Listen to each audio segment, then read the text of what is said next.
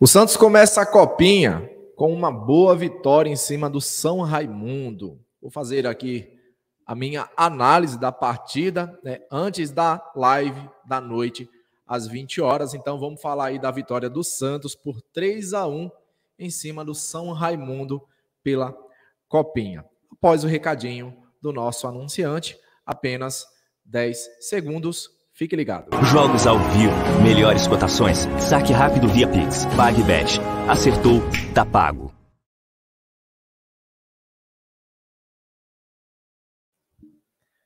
Bela vitória do Santos, hein? Com direito a homenagens ao rei Pelé. Primeiro gol do Santos foi anotado aí por David, né? Quero falar sobre este gol, né, pessoal? Uh, um lançamento, na realidade, a bola do Santos foi rifada para o ataque, né? A zaga do São Raimundo chegou primeiro e no bate-cabeça ali a bola sobra para o David, que tem apenas o trabalho de empurrar para as redes, né? Bom, gol de atacante oportunista, né? Gols que faz o torcedor lembrar um pouco aí do Ricardo Oliveira, tá? Então, o David foi muito importante aí para que o Santos pudesse abrir o placar, né? Até o momento do gol, o jogo estava muito difícil, muito truncado, o São Raimundo lutando muito, tanto que os jogadores terminaram aí, jogadores do São Raimundo, né, terminaram exaustos, né?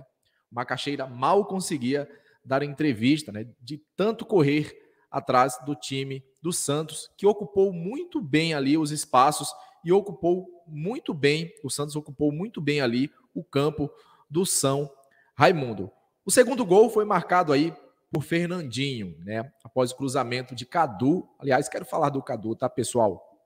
Lateral direito, né? O Santos tá com uma indefinição ainda. O Santos ainda vive uma indefinição, né? Porque não sabemos se o João Lucas vai dar certo na lateral direita. Né? O fato é que nós já vimos o Natan jogando. Pelo menos eu não me agradei de ter visto aí o Natan jogando, não me agradei de ter visto o Natan tocando na bola, tá? Então o Cadu, né, se o Natan não der certo, acredito que o Cadu pode dar conta aí do recado, tá?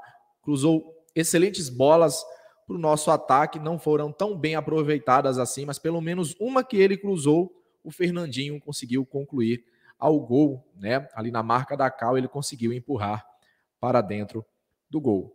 O terceiro gol do Santos foi muito bonito, tá? Uma jogada bem trabalhada, né? Uma jogada aprofundada aí para o Fernandinho, aonde o Fernandinho recebe essa bola em profundidade ali do lado direito, consegue fazer o drible, né? E tocar essa bola para trás, né? E quem chega para o chute é, é o Paulo César, né? Que entrou aí no lugar, se não me engano, foi do Ivonei do David, tá? Paulo César que entrou no lugar do David, entrou e conseguiu marcar o seu gol ficaremos de olho também neste atleta, né?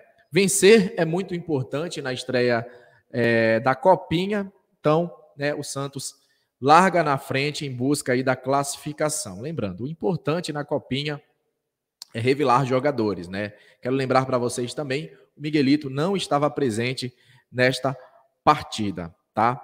Vamos ver aí o que essa molecada vai aprontar nesta copinha. Gostei muito do que vi, né? Essa é a minha análise, né? O Santos ocupando muito bem os espaços aí no campo do São Raimundo.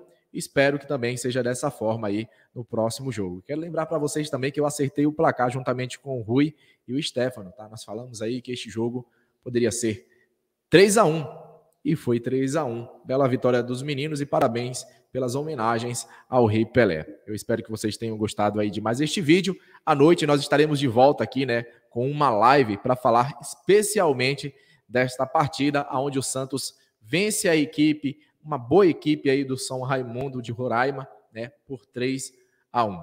Parabéns, meninos. Deram exemplo. Balão estava em campo hoje com a 10, tá, pessoal? É isso aí.